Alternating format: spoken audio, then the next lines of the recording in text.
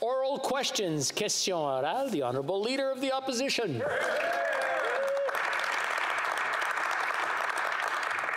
Fifty-eight percent capacity. That's what the Public Health Agency of Canada says the vaccine rollout is operating at because we don't have the supply to do more. It was operating at close to zero when the third wave started building in January and February. Why does this Prime Minister think that 58% is good enough for Canadians? Honourable Prime Minister. Mr. Speaker, we are working closely with the provinces and territories to support them in their responsibility of delivering vaccine, uh, administering vaccines. We've sent more than 13.6 million vaccines to provinces and territories, with millions more arriving in the weeks and months to come. Uh, we know that in the month of May, there are at least 2 million Pfizer vaccines uh, and more of others coming in every single week. Uh, and in the month of June, there will be tens of millions coming in. Uh, that's why it's important that the provinces be ready as they are for the ramp up as we move forward on getting everybody vaccinated. The Honourable Leader of the Opposition. More will be coming when the countries that had a plan are finished vaccinating their population, Mr. Speaker. We're in a race against variants in this third wave, and we're losing because we didn't have the vaccines needed in January and in February. In fact, we still don't. But the Prime Minister is now not even restricting flights from COVID hotspots to stop the entry of new dangerous variants. The Prime Minister failed at the border last year. Why is he failing again? The Right Honourable Prime Minister. Mr. Speaker, as I said, we've delivered more than 13.6 million doses of vaccines to provinces and territories. We actually uh, passed by about 50% our targets of delivering 6 million vaccines by the end of March, and we will continue to deliver more and more vaccines to get Canadians through this. Uh, on the borders, we have some of the strongest measures in the world on the borders, uh, but we will also continue to look at other ways based on science and data to keep Canadians safe. Uh, importation from the border is a fraction uh, of the cases we're coming in, but we will still uh, make sure we are doing everything necessary to keep Canadians safe. Honourable Leader of the Opposition. It's a sad day, Mr. Speaker, when a Canadian Prime Minister celebrates making his targets by stealing vaccines from the developing world. And no vaccines in January or in February means we're having a third wave in April. No border measures immediately means that the third wave could last until June. The Americans have introduced new border measures, Mr. Speaker, against Canada because of the lack of control of variants by this Prime Minister. Right. What is it going to take for Canadians to finally see action on COVID from this Prime Minister. The Right Honourable Prime Minister. First of all, Mr. Speaker, once again we see Conservatives uh, peddling falsehoods when they say no vaccines in January or February. That's simply not true, Mr. Speaker. We have continued to deliver, we've continued to increase our vaccine supplies, and we actually uh, went uh, well beyond the predicted targets. At the same time, Mr. Speaker, we see once again uh, the Conservatives uh, aren't asking any questions about the budget. Why? Uh, because they must support it. They must think it is excellent because they recognize how targeted it is for Canadians, how it's going to get us through this COVID recession, how it's going to build back better. Thank the Conservatives for their support. The Honourable Leader of the Opposition. Mr. Speaker, I have a question about the budget. We're in the third wave and variants are out of control. That's a fact. Canadians are tired of this. The Prime Minister has promised to increase health transfers to the provinces, but only after the pandemic. He is sending water after the fire. Why is the Prime Minister neglecting the provinces again when they need help now? The Right Honourable Prime Minister. The Conservative leader only asks budget questions in French. There must be some reason for that, but let's move on. And then he keeps saying anything and everything. Thousands, billions of dollars have been transferred to the provinces to help them with their healthcare systems during the pandemic. And with this budget, we're sending another $4 billion to the provinces and territories. We are there for Canadians, despite the Conservatives who keep saying we're spending too much, we should spend less. Uh, we shouldn't be there for Canadians to the same extent, but we will always be there to support Canadians. The Honourable Leader of the Opposition. Leader. The provinces need a leader, not a, a talker. Last year, the prime minister failed to shut down the borders because he didn't have a plan to slow down the virus. Yesterday, the U.S. took new steps at the border because of how slow this government has been in stopping the variants. We are fully into a third wave here, and the prime minister is always slow to slow things down in the hot zones. What's he waiting for? Why isn't he taking action? Five questions today, Mr. Speaker, from the opposition leader, and in each question, he made facts up. I understand that it's the responsibility of members of parliament to debate here, but when he says things like the U.S. have just changed their position on Canada, that's quite simply false. Since November, Mr. Speaker, the United States has been expressing concerns with a number of countries, including Canada, and it, that's still the case. But the Conservatives are simply uh, peddling falsehoods to play politics, and that's not the way things should be done. The Honourable Member for Beloeil Chambly. Thank you, Mr. Speaker. Speaking of uh, things said in English versus French, the Prime Minister promised in English to increase long term health transfers to the provinces, and that's good news. But we, we need that now. When you look at the budget, it's nowhere to be found. So, my question is quite straightforward. Is the increase in health transfers going to happen now? And will it reach 35% of the costs? The Right Honourable Prime Minister.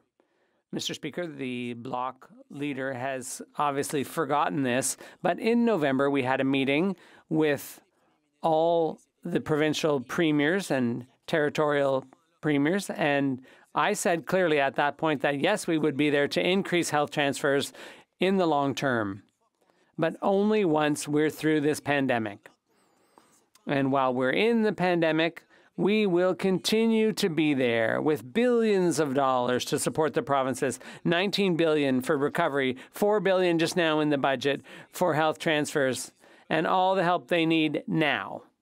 The honorable member for Beloeil Chambly Mr. Speaker in the prime minister's mind the pandemic is going to last another 5 years or more i guess the National Assembly of Quebec passed a unanimous resolution repeating its um, previous resolution rejecting national standards for long term care and calling for an increase in health transfers to 35% of the cost. And they're condemning the fact that there's nothing about this in the budget. So it's not just me, it's not just the Bloc, it's the Quebec Premier and the National Assembly unanimously Right Honourable Prime Minister. Mr. Speaker, all Canadians and Quebecers are concerned about the fate of our seniors all across the country. They recognize that all seniors in the country need to be able to have a decent retirement, a safe, secure retirement. And that's precisely why we're working with the provinces and territories to ensure that our seniors have a safe, secure, protected retirement, whether it's in long term care or elsewhere. We are respecting provincial jurisdiction, but we are moving forward to ensure that all seniors are protected. The Honourable Member for Burnaby South. A doctor in Ontario wrote to the Prime Minister urging the Prime Minister to invoke the Emergencies Act and to step in and help. She writes that the situation is so bad in Ontario that not only COVID 19 patients, but any patient seeking health care is limited in the health care they can receive. She wrote again specifically How angry would you be if your loved one had a heart attack and there was no hospital or ICU bed for them? Will the Prime Minister declare a public welfare emergency and immediately get the help uh, that people need, getting vaccines to those who need it most. The Right Honourable Prime Minister. Mr. Speaker, as I said, the federal government is there to help all Canadians. We have your backs. That's why uh, we have indicated to the Government of Ontario that we are there to provide more sorts, whether it's Red Crosses, uh, whether it's more vaccine doses, uh, whether it's uh, investments uh, in healthcare and supports. We will continue to be there to support Canadians right across the country. I find it interesting, however, that, uh, that the NDP is now calling calling on us to invoke the Emergencies Act uh, uh, when Tommy Douglas famously criticized my father for doing the same thing. Uh, we believe in working with the provinces and delivering concretely. That's what we're going to continue to do. The Honourable Member for Burnaby South. The Prime Minister knows that it's a completely different act. And the Prime Minister knows that having someone's back means actually stepping in, helping, not standing back and watching. Radhika from the Greater Toronto Area lost her father to COVID 19. Her father worked for 26 years in the same factory in the Greater Toronto Area before getting COVID 19, getting sick, and then dying. She says that the way forward is to make sure people have paid sick leave. So, will the Prime Minister, if he believes he can have people's backs, will he improve access to paid sick leave and protect workers? The Right Honourable Prime Minister. Mr. Speaker, the tragedies faced by far too many Canadian families over these past many months have been heartbreaking. And every step of the way, governments have been there to support people. We are, uh, we've been working hand in glove uh, with provincial and territorial governments. We've been delivering direct supports to families. Uh, and we know, Mr. Speaker, there continues to be more to do. We move forward with paid sick leave to make sure that people didn't have to face the impossible choice uh, between going to work uh, or putting food on the table. And we will continue to work to do more. Uh, we know people need us to continue to have their backs, and we will. L'honorable député de Louis. The honourable member for Louis Saint Laurent. Mr. Speaker, in January, February, Canada went through a vaccine drought, and the result is being felt today. Because of that drought, which is the Prime Minister's fault, the third wave is hitting much harder than it is elsewhere here in Canada. And the Prime Minister is telling people not to travel. But the Prime Minister recently said he was getting ready to go to Great Britain this summer. Mr. Speaker, why does the Prime Minister say one thing and do the opposite? The Right Honourable Prime Minister. Mr. Speaker, we can see the Conservatives are having to look pretty far afield to find attacks. I do hope to be able to attend the G7 heads of government meeting in person in June, but obviously it will depend heavily on the situation we're in. That's precisely what I've said. We will be responsible. We will continue to work with our counterparts around the world to get through this crisis. It's a global crisis. And to get the economic recovery started, which is so important to everyone. The Honourable Member for Louis Saint Laurent. Yeah, if we want to look for examples, look at look abroad. CNN said recently that the government had recently failed Canadians who deserve better. That's the foreign opinion of the Prime Minister's management of the COVID 19 pandemic. And Boris Johnson had to correct the Prime Minister because the Prime Minister falsely asserted that they had a serious problem right now in Great Britain. This Prime Minister has not dealt with the vaccine problem properly in January and February. Can he at least admit that? The Right Honourable Prime Minister. When it comes to health care, we'll take no lessons from the Conservatives. They said that we wouldn't be in a position to deliver uh, vaccines as early as we have. Uh, we do recognize that there is still work to be done. Nonetheless, 25% of Canadians have now been vaccinated. We've hit that mark, but we have to do better. And in the weeks to come, in May, we will receive over 2 million vaccines per week. And we will continue to increase the rhythm because we're working very hard on that every day. Now, no member for Louis Saint Laurent. Mr. Speaker, Canadians remember that in December 2020, the Prime Minister was proud to put on a display about vaccine orders, but in January and February there was a 10 day vaccine drought. No vaccines arrived, and now the third wave is hitting much harder in Canada than elsewhere because the Prime Minister created losing conditions in Canada, and that's making Canadians suffer. Can the Prime Minister admit that he has fallen down on the job, and he did so in January and February? The Right Honourable Prime Minister. Mr. Speaker, it's time to talk facts.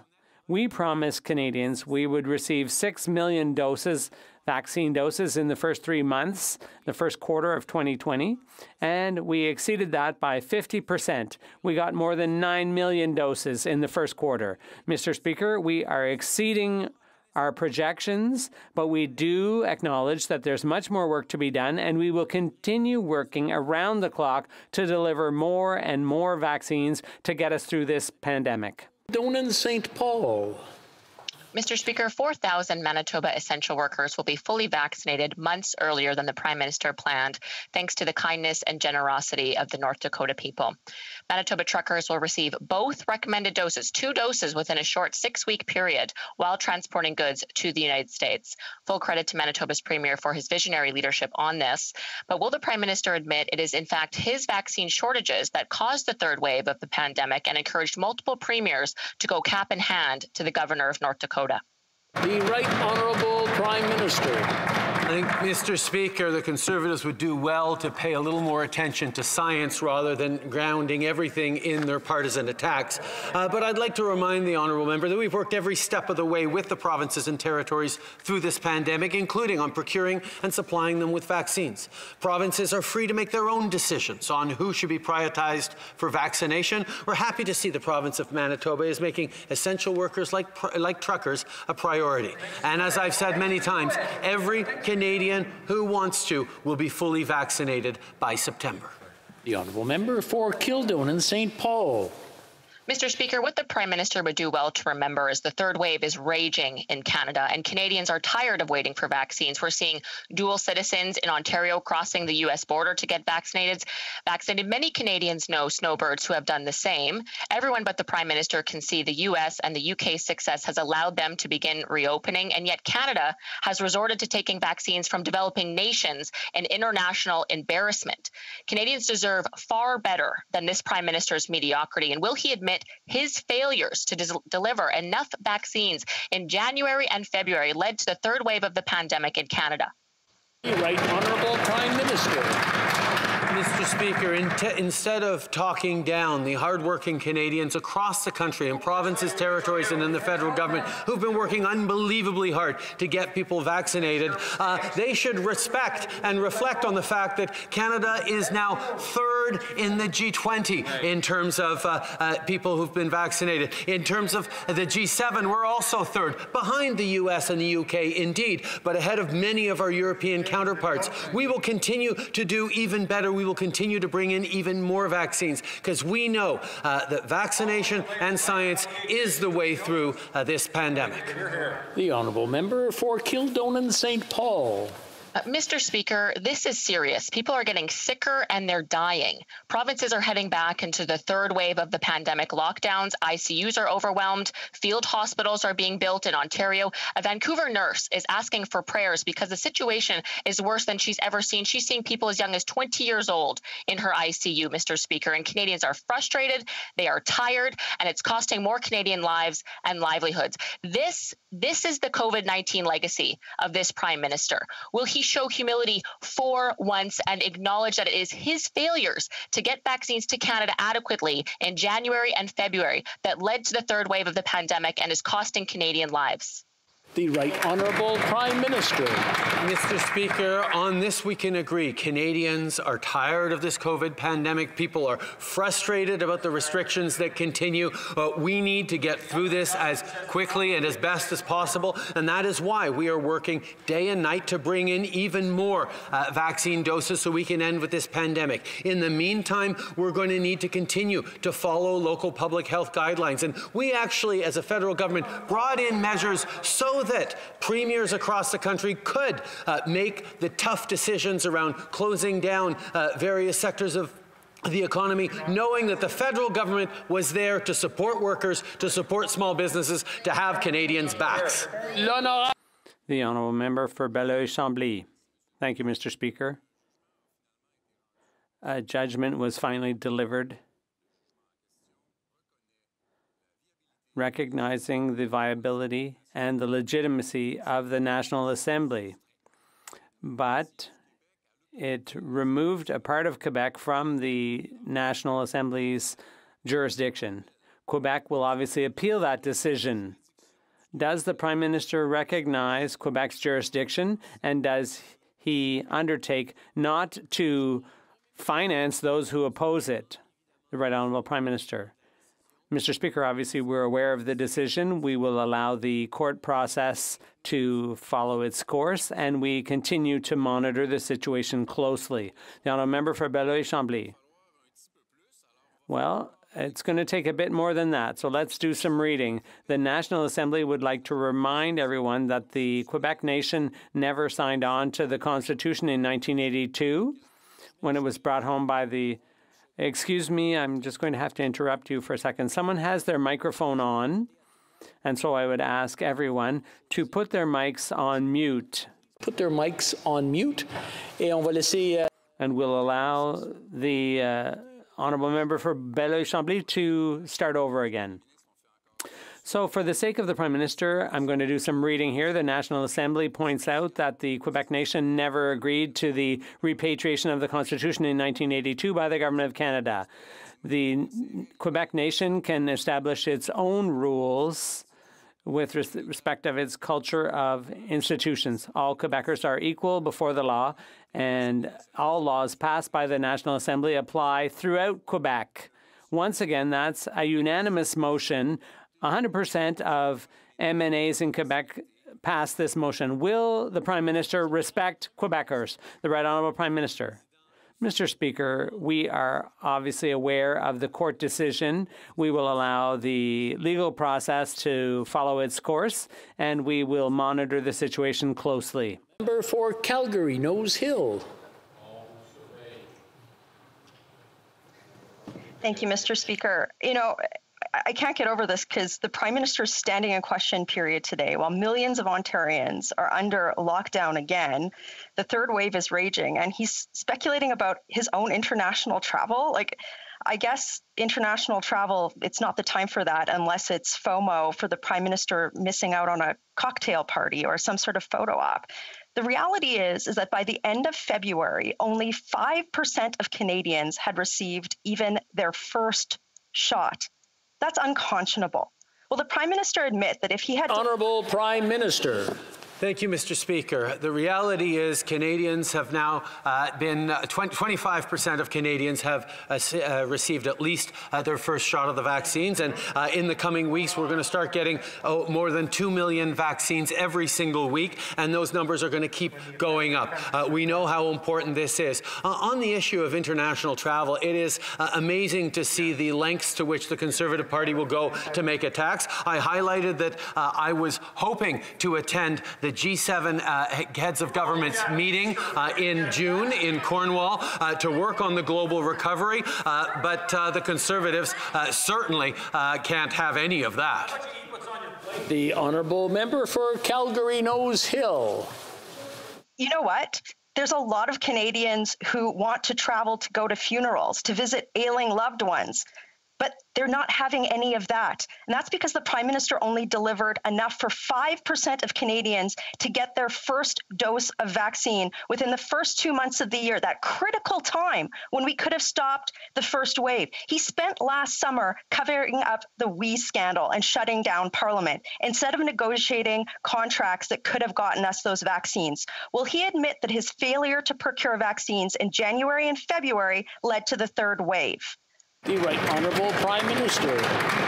Mr. Speaker, again, we have now passed the, uh, the threshold of having vaccinated 25% of Canadians, and we need uh, to continue to do more, and that uh, is something we're going to continue to do. In terms of uh, the opportunities for the global community to come together, and particularly the leaders of the seven largest economies, uh, as I said, it is not certain, but I am hopeful to be able to sit with them in person, and I would, I would do it wherever it was, whether it was in whether it was held in Oklahoma. I would be there uh, to be there for the G7.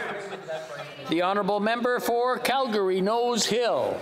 You know, the Prime Minister can mock his international travel against people who need to travel to see ailing loved ones who are separated with their families, but that's not going to cut it. He st- cites statistics, but one statistic is fact. Only 2% of Canadians 2% have been fully vaccinated. That's abysmal. That's not going to stop the third wave. There's not enough supply. We're having to administer first shots of vaccines off label for four months because he didn't produce enough vaccines. We could have stopped the first wave if he had gotten us vaccines in January and February, but he didn't. Why?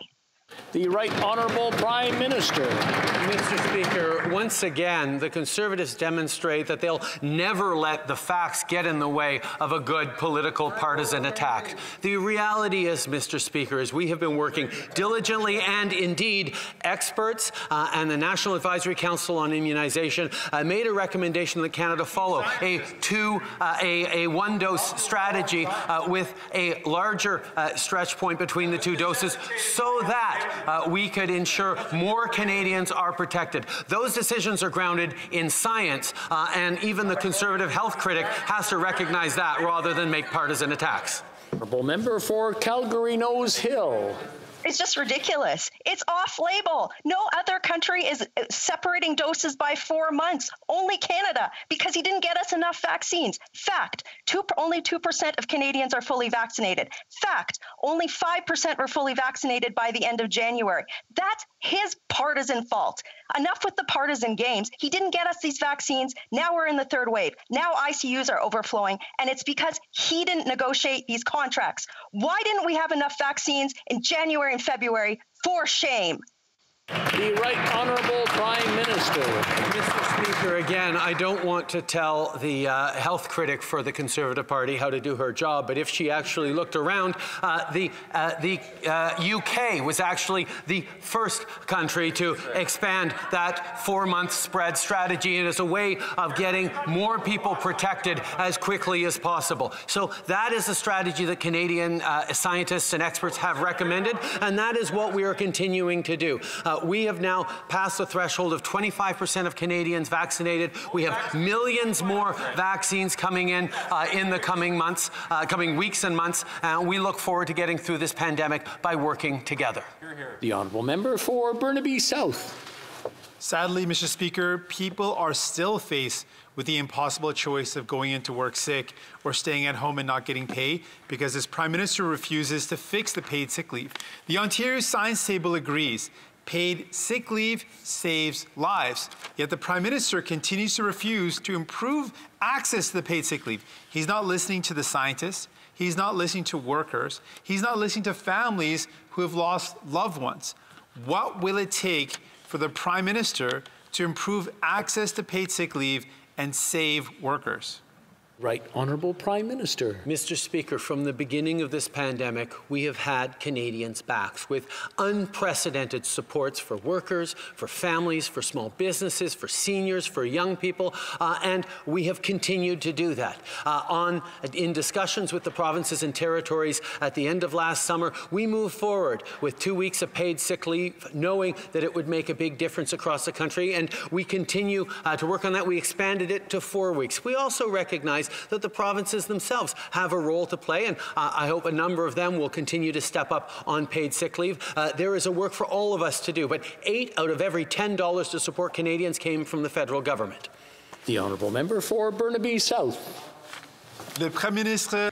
The Prime Minister has finally presented a budget with emblematic amounts. Well, congratulations. But the Prime Minister forgot an urgent request from provinces and territories. They asked for an increase in health transfers. We're in the midst of a crisis. a health crisis. Our health system has to be able to meet people's needs. Can the Prime Minister commit to increase health transfers? Yes or no? The Right Honourable Prime Minister. Yes, Mr. Speaker, I committed to do this last December when I had a conversation and a meeting with the premiers. But I also recognized that right now we have serious needs in our health system, and that's why we transferred billions of dollars additionally to the provinces and territories so that we could get through this pandemic. And once this crisis will be over, we will sit down and we'll determine how we'll be able to continue to increase health transfers in the long term. Yes, Mr. Speaker, that's what we're going to do. Member for Cumberland Colchester. Thank you, thank you, Mr. Speaker. Um, and Mr. Speaker, the global pandemic has been tough on all Canadians, but particularly on women who tend to be the family caregivers, especially during a crisis. And research many women have had to exit the workforce, risking decades of women's hard fought gains in the workplace. And we know this is often due to a lack of affordable accessible and quality early learning and childcare. So, can the Prime Minister please tell us how much we are investing in a national childcare program, why it's so important for parents now, and how this will support women right across Canada? Thank you. Honorable Prime Minister. Mr. Speaker, I want to thank the member from Cumberland Colchester for raising this important issue. Childcare shouldn't be a luxury. It should be something that everyone can afford. That's why Budget 2021 commits up to 30 billion dollars over five years to build a Canada Wild childcare system. This plan aims to cut fees by 50% by the end of next year, and in five years, we aim to reach an average of $10 a day daycare right across the country. We look forward to working with all the provinces and territories to ensure that all Canadians have access to early learning and childcare. The honourable member for Carleton.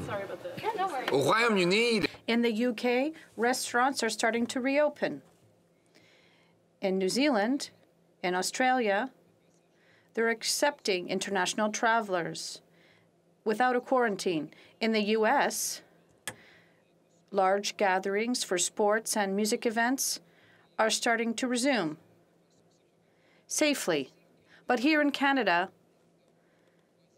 there's a major third wave. How come Canada is in such a negative position with respect to our other international allies? The Right Honourable Prime Minister. Mr. Speaker, we recognize that there are many Canadians who are going through very tough times right now during this third vague, but we also recognize that there are places in Canada that aren't facing a third wave, whether it's the Atlantic provinces or the work the federal government did with the them that allowed them to have a different reality during this pandemic, or also in the north. We worked with the ministers of the territories so that this pandemic would be different for them. There are other areas that need more help, but the government will be there for Ontario and for other places that do need our assistance. The honourable member for Carleton. Vaccines. Yeah. That was the one job he had at this point in the crisis. Now he tries to throw on a cape and says he's the hero that's going to solve the problem that he caused. Yeah. The reality is the rest of the world was being vaccinated in January and February. Vaccination rates in the US and UK are twice what they are here in Canada. The rest of the world is reopening while we're being confined to our basements because of the wave of the variants that this prime minister allowed. Why did the rest of the world have access to vaccines in January and February while we did not? The Right Honourable Prime Minister. Again, Mr. Speaker, it should come as no surprise that that particular member has a way of inventing facts. Uh, the reality is we did get vaccines in January and February, unlike what the member is saying. But yes, indeed, we need to continue to increase it. Although for January, February, March, we actually surpassed our target of 6 million vaccines uh, by almost 9.5 million vaccines total. The reality is, Mr. Speaker, we will continue continue to deliver vaccines to Canadians as quickly as possible. We are now third in the G20 in terms of uh, number of citizens vaccinated uh, with a, at least one dose. We will continue to accelerate our vaccination. Honourable member for Carleton. Inventing facts. This from the Prime Minister who has been embarrassed again on the international stage for stating falsehoods. Let me state, let me uh, quote the Independent of London.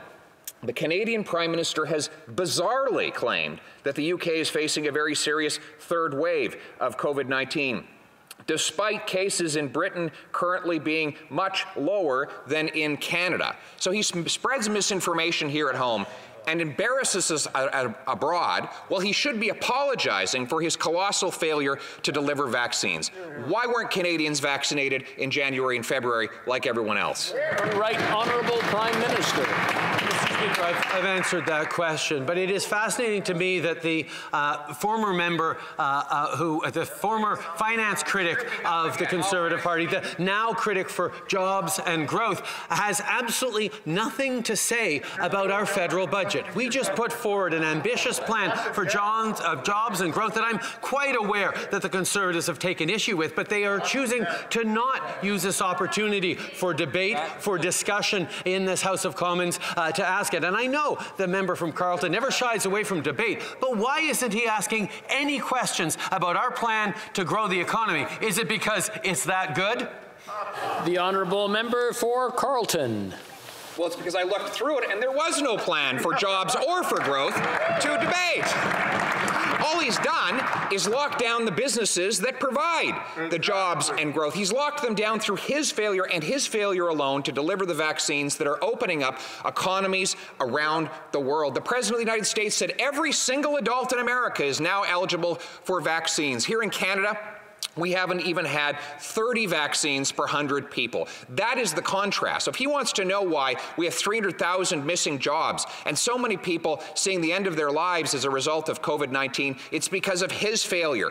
Why didn't we get vaccinated in January and February like everyone else? The right honorable Prime Minister. Speaker, I now understand why the member for Carleton is not asking questions about the budget he hasn't actually read the budget. So let me inform him uh, that in this budget, we're extending emergency supports to bridge Canadians and Canadian businesses through to recovery. We're extending employment insurance sickness benefits from 15 to 26 weeks. We're revitalizing Canada's tourism sector with a billion dollar investment. We're funding to enhance initiatives like the Black Entrepreneurship Program and the Women Entrepreneurship Strategy. We're establishing a $15 minimum wage, enriching the Canada Workers Benefit, investing investing in our small businesses and the transformation and supports they're going to need for the future. Mr. Speaker, this is a jobs and growth budget, and we are all apparently very proud of it in this House. The Honourable Member for Joliette. Mr. Speaker, one of the Prime Minister's key commitments in the budget is for universal childcare. He's taking his cue from Quebec, which became a global pioneer in this area when Pauline Marois of the Parti Québécois created our daycare centres in 1997. Since the Prime Minister himself is basing himself on Quebec, would it be not be natural for him to not dictate to Quebec what to do with its share of the money it's owed? Students don't correct teachers. So can the Prime Minister confirm that Quebec will receive its fair share of its funding without conditions? Without strings? That's the question. The Right Honourable Prime Minister. Mr. Speaker, Quebecers have shown for quite some time the path to follow with respect to daycare centres and for early childhood learning. We know that it's not just the right thing to do, but it's also the intelligent thing to do for the economy, for fairness, and for opportunities and economic growth. That's exactly why we're going to bring forward what we all have learned from Quebec across the country. And I would like to reassure you that Budget 2021 will have an asymmetrical plan with Quebec to allow for other improvements to its system. The right, the honourable member for Joliette. Thank you, Mr. Speaker. What we want to know is will this agreement have strings or not? What Quebec wants is no conditions at all. We want a confirm, confirmation of this. Will there be conditions or not? Thank you, Mr. Speaker. The Right Honourable Prime Minister.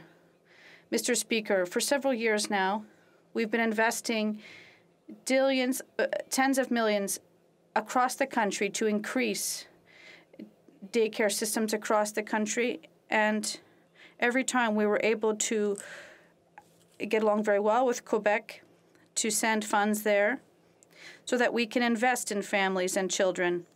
And certainly, Mr. Speaker, the work we're going to do with Quebec together to meet the needs of families across the country and with the investment we're going to send to Quebec so that Quebec can invest properly. Well, we're very happy to be able to ag agree with Quebec on this, and we're sure that will happen. Thank you. The honourable member for Mégantic-L'Érable. Transparency and humility. Since the beginning, the Prime Minister has said that he's made no mistakes in terms of the vaccine supply for Canadians, but unfortunately, he is responsible for the third wave that we're going through right now in Canada. 8 million cases new day on a, a day on average. Quebecers are under a curfew that restricts their freedom of movement. They can't see their families. Today, the prime minister, if he had done has done proper had done his job properly last year, we wouldn't be here today. So why did he fail uh, Canadians by not giving them the vaccines they needed in January and February? Mr. Speaker, once again, let's focus on the facts. In the first months of the year, we promised Canadians 6 million vaccines, and we delivered 9.5 million vaccines, Mr. Speaker, and we're delivering them. But we know we have to work hard every day to deliver even more vaccines across the country. The Honourable Member for Mégantic-L'Érable.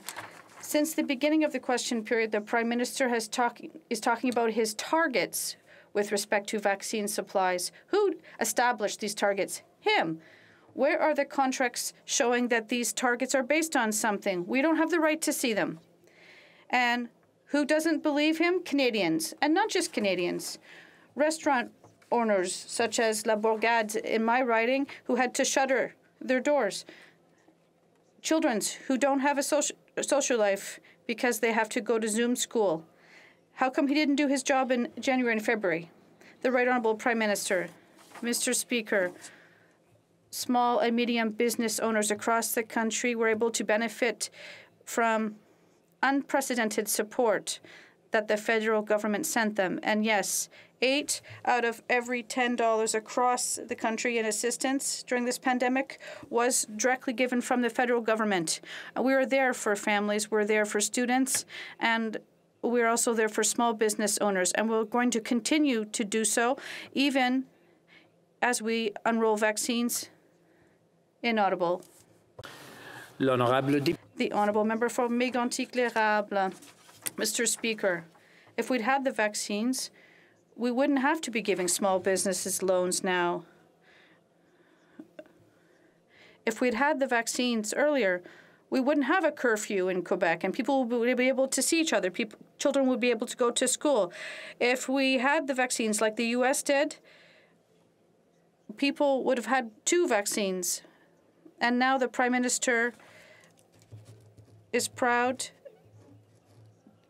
well, there were 200 million Americans vaccinated in 100 days. How come he didn't deliver for Canadians in January and February instead of putting us in the third vague we're experiencing right now? The Right Honourable Prime Minister, Mr. Speaker, since the beginning of this pandemic, we're working to help Canadians, to support small businesses, to support families, and to create a vaccination strategy for the most the highest number of Canadians as quickly as possible. And we're going to continue to increase the vaccine rollout speed every week in Canada, and we're going to have everyone vaccinated before the end of September fully.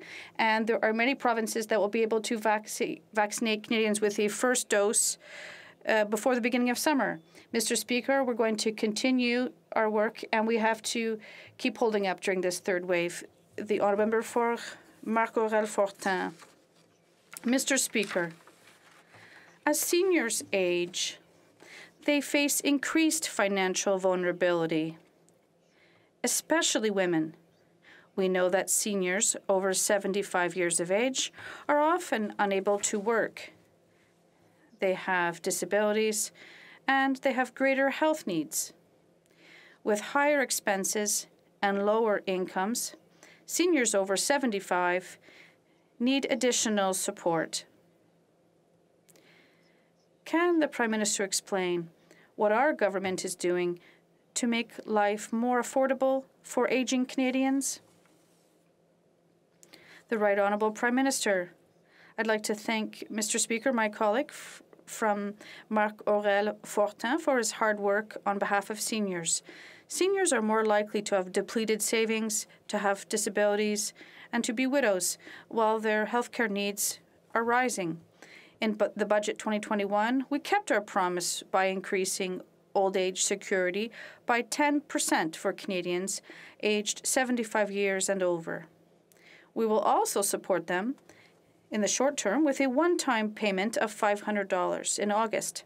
Seniors built Canada, and they can rest assured that we will always be there for them for Leeds, Grenville, Thousand Islands, and Rideau Lakes. When confronted with facts, this Prime Minister screams out that it's fake news, but he justifies Canada going off label on the vaccines with a four month dosing, saying that the Brits did the same, when in fact they used a three month dosing interval. So instead of spreading misinformation, can the Prime Minister stand up and admit that Canada is in its third wave of lockdowns because he failed to deliver enough vaccines for Canadians to get both doses in January? January and February. The Right Honourable Prime Minister. Mr. Speaker, a year ago there was no COVID 19 vaccines. Uh, now there are many. And Canada, because of our procurement strategy, uh, had, was able uh, to sign deals with seven different potential vaccine makers, many of which are able now to deliver vaccines, including to Canada. We continue to increase the pace of vaccinations, vaccine doses arriving in Canada. Indeed, in about a week and a half, we will switch to more than 2 million doses of vaccines arriving every single week. We will have close to 50 million vaccine doses by the end of June here in Canada. Mr. Speaker, we are on track to get through this pandemic. The Honourable Member for Leeds, Grenville, Thousand Islands, and Rideau Lakes. Well, it's a real shame that this Prime Minister says that with only 2.5% of Canadians fully vaccinated, that we're on track. This third wave is his failure.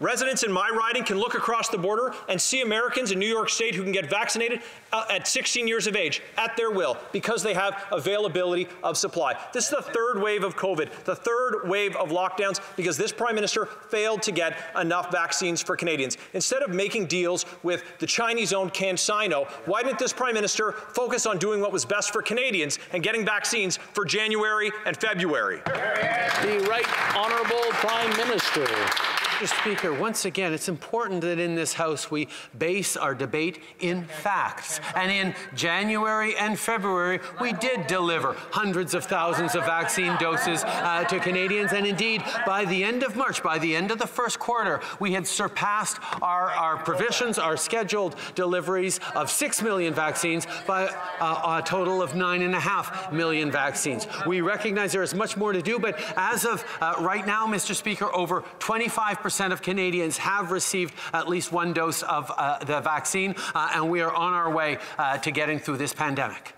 The Honourable Member for Leeds, Grenville, Thousand Islands, and Rideau Lakes. Well, I guess this Prime Minister hopes that Canadians will accept uh, that he will uh, under-promise and over-deliver up to 2.5% of Canadians being fully vaccinated. I can tell you, I can tell the Prime Minister through you, Speaker, that's not good enough. This Prime Minister shut down Parliament during a pandemic, had his members filibuster the Health Committee, Defence Committee, Ethics Committee, Procedure and House Affairs, instead of working together in a Team Canada approach to vaccinate Canadians. This Third wave is a failure of this Prime Minister. 25% of Canadians getting their first dose is not enough to stop the third wave. Why did this Prime Minister let us down? The Right Honourable Prime Minister. Mr. Speaker, throughout this pandemic, one of the things that has been strong and remarkable is the level of collaboration we've seen across political parties and indeed across orders of government. That's what Canadians have wanted to see, people working together, like the federal government has consistently been there